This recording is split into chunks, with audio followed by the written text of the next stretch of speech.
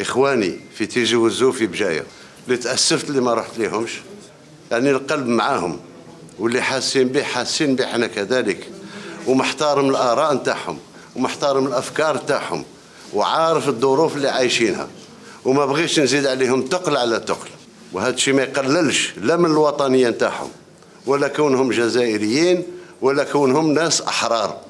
نفصل المال نهائيا على السياسة وبالأخص المال المسخ يخصنا شوفوا نأديو القسم الأعظم في بعضنا بعض أن هذا الشيء ما يزيدش يتكرر. كانش العفو الرئاسي الفساد ما يكونش. اتعهد ومن خلال الأسرة الإعلامية الموجودة هنا أنني نواصل محاربة الفساد.